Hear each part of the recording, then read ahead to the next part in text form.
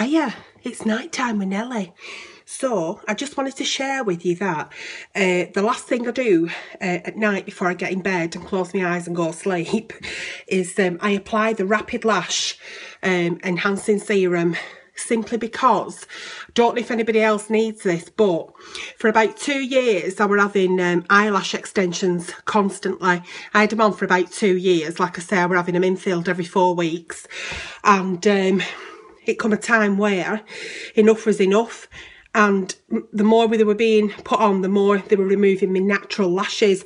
And I ended up with no fucking lashes as you can see from my before picture. So I needed something rapid. Hence why I bought the rapid lash from Amazon. It's 20 quid. I'm not fucking joking you're right. Last thing at night this is what I do. It literally takes seconds. I can even do it while I'm having a wee on toilet. Right that's that eye just on above the uh, mascara line and that's that eye. Right? So when I had no eyelashes and I was walking about crying I was having a look for something and I come across this.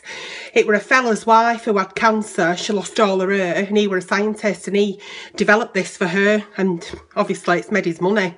The reviews are absolutely fantastic and all I can say is it's been my fucking saving grace. We in 30 days, my lashes were back and people were saying to me, oh have you had your lashes back on? No, they're my own. They're not the fake then. They're not fucking fake. They're my own lashes. And as you can see from the after picture, honestly, it's made a massive fucking difference, especially when you put mascara on. I tried to put the false eyelashes on. We've all had a laugh with that. can't do them.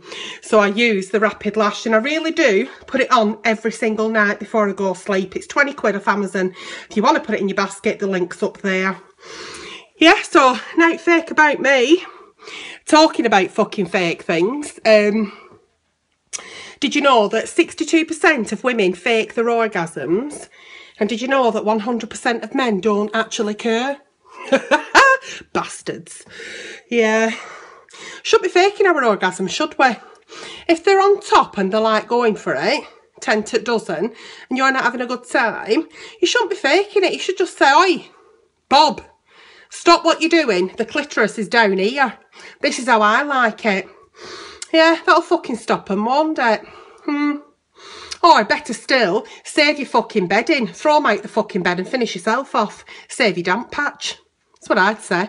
So, if you no longer want to walk about with um, eyelashes that make you look like Lamb Chop the Puppet, because you don't know how to apply them and you end up looking like what I did, Rapid Lash Eyelash Enhancing Serum. You really do see the results within 30 days. I promise you kids. Get it in your basket. Good night. God bless.